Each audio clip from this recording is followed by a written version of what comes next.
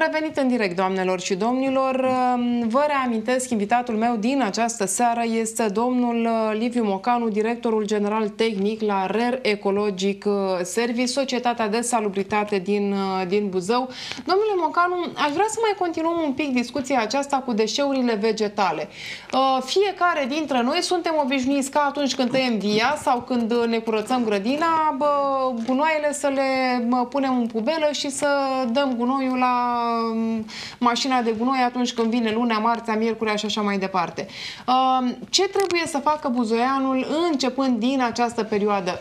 Aș vrea câteva soluții să, să oferim, pentru că știu că fie le scot la poartă, fie fac altceva.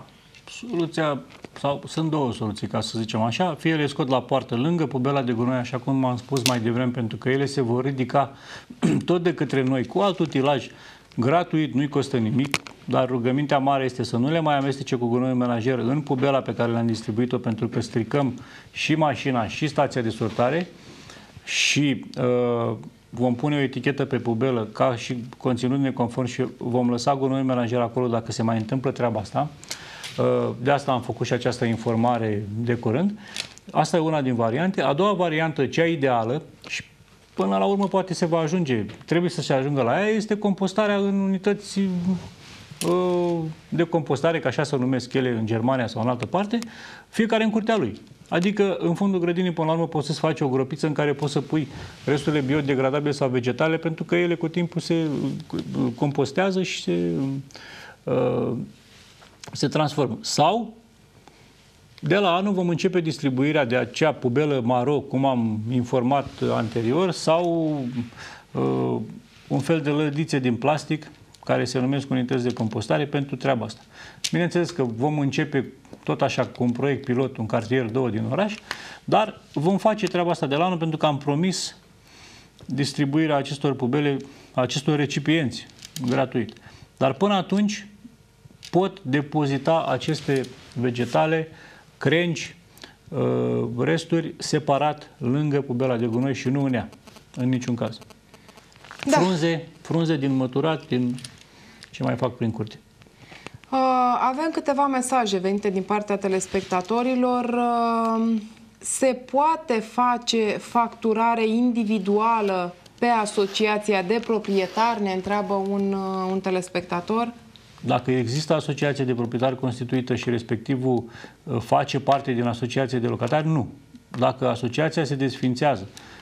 Am avut vreo două, trei cazuri când asociația, mă rog, avea o asociație de scară, s-a desfințat asociația, n-am avut ce face, a trebuit să le facem facturare individuală pe apartament. Dar atâta timp când sunt, cât sunt constituiți în asociație, facturarea se face pe asociație. Bun. La țară, de ce nu distribuiți pubele sau saci? În Vadu Pașii, de exemplu, întreabă un alt telespectator. În Vadu Pașii am propus Consiliul Local distribuirea de pubele. Uh, bineînțeles, uh, uh, amortizarea acestor pubele să fie inclusă în tarif. Asta presupunea majorarea tarifului, nu mai știu acum cu cât, dar oricum nu foarte mult. Deocamdată n-au acceptat, au spus că să mergem așa încă o perioadă și pe urmă. O să mai discutăm acolo cu primăria, noi am intenționat, pentru că ne ușura și nouă munca și scădea și cantitatea de gunoi și, bineînțeles, și oamenilor. Era o chestiune civilizată, sigur. Bun. La blocul 5A, 5A1 pe stadionului avem două tomberoane per scară, tomberoane legate cu lanț pe spațiul verde, de pomi în fața blocului, inestetic și insuficiente, spune un alt telespectator. Am senzația că acest mesaj uh, l-am mai citit uh, da, de-a lungul știm. timpului. Despre ce este de vorba? De aproximativ un an este, se face colectarea așa acolo. Ele sunt legate cu lanțul pentru să nu le fure, pentru că dacă și la noi erau, mă rog, uh, altă civilizație și nu să fura, bineînțeles că nu le mai lega.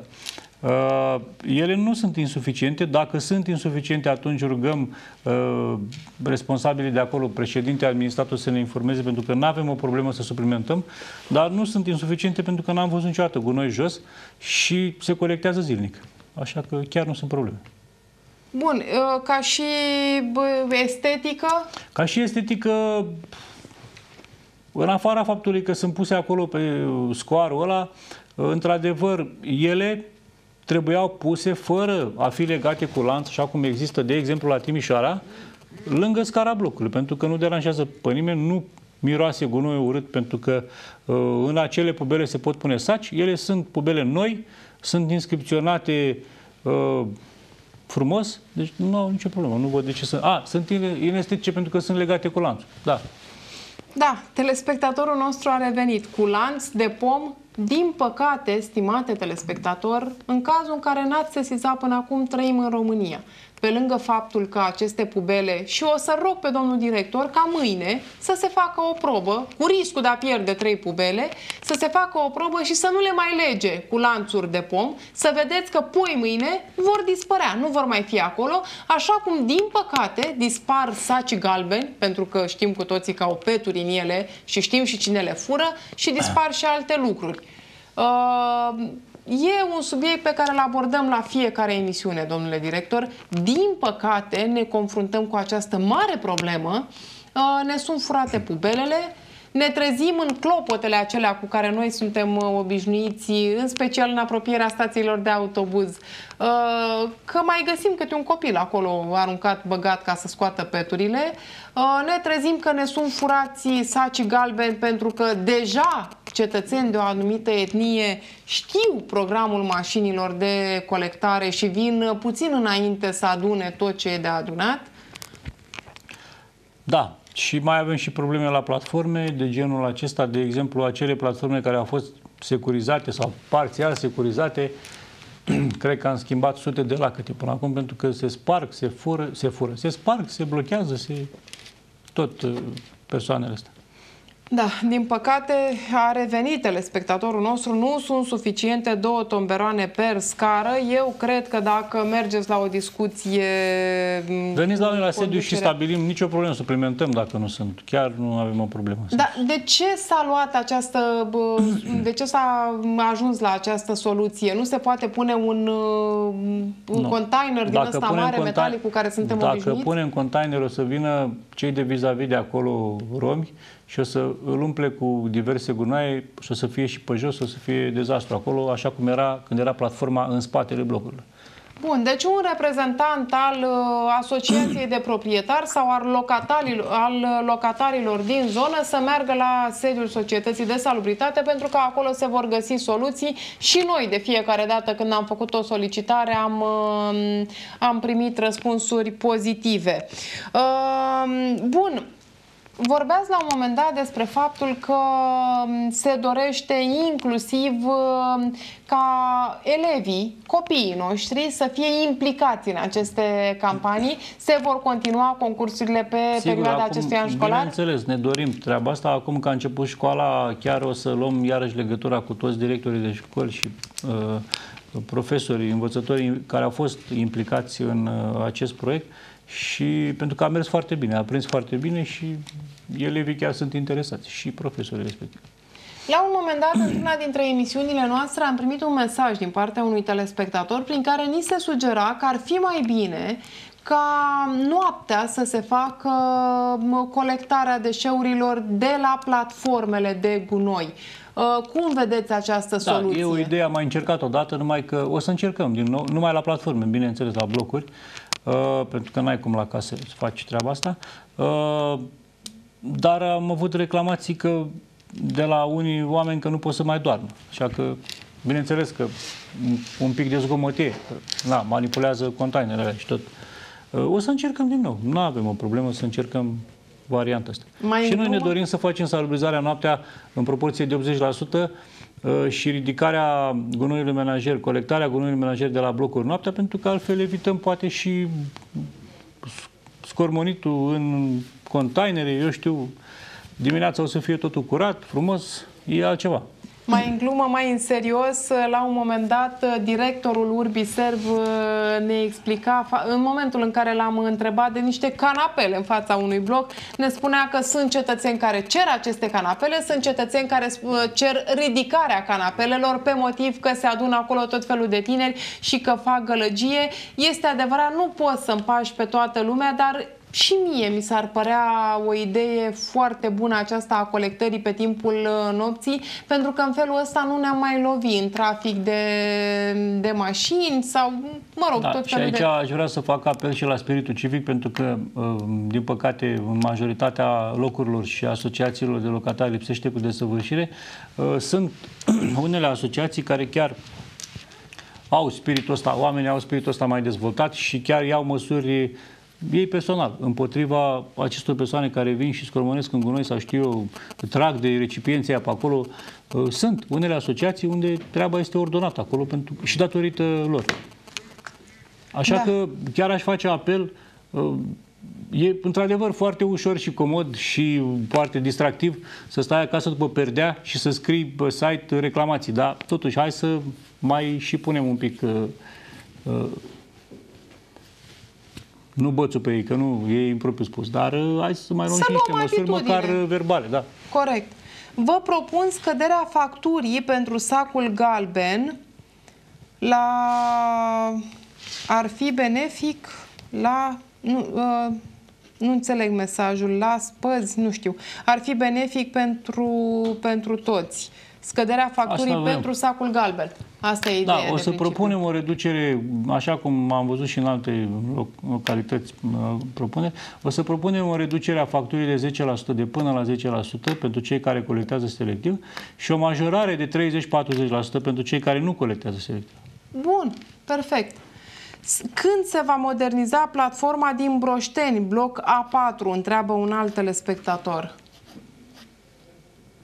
Ca să fiu foarte sinceră, eu nu pot să localizez puține străzi din municipiu, da, le, le cunosc. Punea, nu știu, trebuie să vedem ce e acolo. De, de principiu, când se vor moderniza platformele? Noi am vrea sincer să desfințăm o parte din ele. Pentru că, așa cum e la Mică 14, unde spunea mai devreme uh, telespectatorul, așa cum acum e uh, în Dorobanți, tot așa, la început au fost reticenți cu desfințarea platformei, acum am pus pubele la fiecare scară de bloc și văd că situația este mult mai bună și chiar uh, nu credeau nici oamenii de acolo, dar după cum se vede, nu mai e mizerie în zonă și situația e mai bună. Uh, așa s-a întâmplat și la o asociație din 1 decembrie. Deci e, e și un mijloc de contorizare uh, separat. Așa că o să propunem probabil să lăsăm aceste platforme doar în zonele unde, unde chiar se ocupă de ele și președinții, administratorii de, de asociații, cetățenii. În rest, putem să le desfițăm și să punem recipienți la fiecare scară de bloc. E mult mai uh, civilizat și mai în regulă.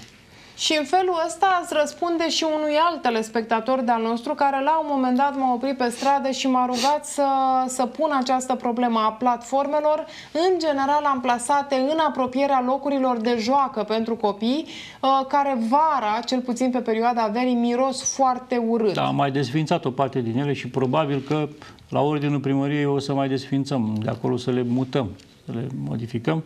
Uh, iarăși o problemă mare există la platformele care sunt amplasate uh, în zonele de blocuri de lângă case. Pentru că acolo sunt, mai sunt și oameni care nu au contract, aduc seara, noaptea, gunoi de grajd, încă mai există gunoi de grajd în Buzău, în municipiul Buzău. Da, vedem cai, vedem animalele da. pe străzi. Da. Și atunci probabil că și alea vor fi desființate. Și în acest fel, uh, cu, odată cu aducerea pubelelor către fiecare scară de bloc în parte, uh, să spunem că s-ar rezolva cumva problema sacului galben la blocurile cu 4 nivele. Ce ne facem cu blocurile cu 10 nivele? Da. Cum vedeți dumneavoastră rezolvată situația? Eu o să le propun, asta le-am și propus până acum, uh, reprezentanților de la asociații. Colectarea cu sacul galben la blocuri o văd Până la urmă, ca să poți să faci această reducere din factură, trebuie să cântărești cumva, nu? Trebuie în funcție de cantitate, că altfel n-ai cum. Se ia o cantitate pe locuitor, uh, câți locuitori ai într-o asociație, se mulțește și mai ai cantitatea minimă pentru care să primească minimă pe care trebuie să o colecteze selectiv ca să primească această reducere.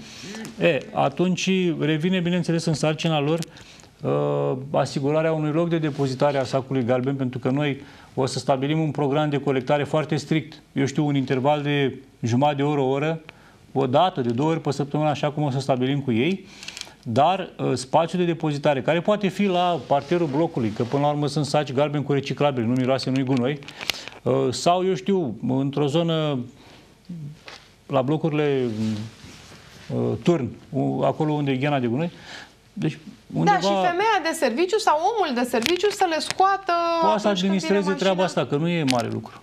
Altfel, nu avem altă soluție, adică să creăm acum alte spații îngrădite pentru depozitarea sacului de gabe. Nu, aici chiar da, un alt telespectator ne întreabă când se va amenaja rampa de gunoi astfel încât să dispară mizeria cu tomberoanele legate de pom de pe bulevardul uh, stadionului între Lebic și Spitalul Județean. Nu se va mai amenaja nicio platformă acolo.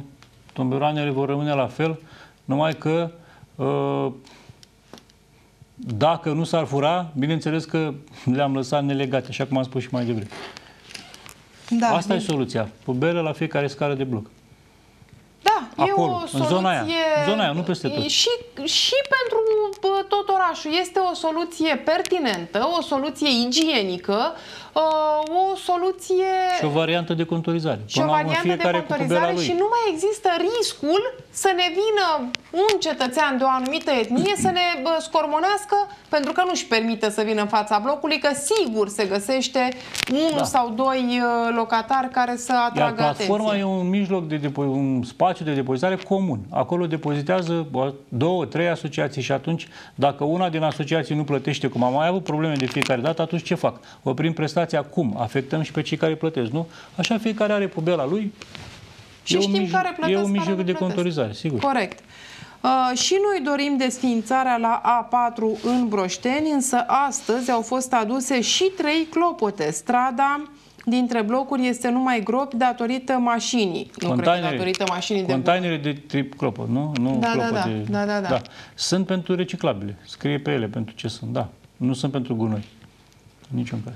Da, uh, este bine de făcut distinția între aceste containere de tip clopot. Acestea sunt uh, strict pentru deșeurile reciclabile. Da, scrie și pe ele pentru ce Exact, iar platformele sau pubelele așezate fie în fața blocurilor, fie la legate de pomi, așa cum spuneți dumneavoastră și cum este realitatea în România, sunt pentru, pentru deșeuri. Mai avem un mesaj din partea unui telespectator, pubelele sunt pe spațiul verde și nu este nimic igienic acolo.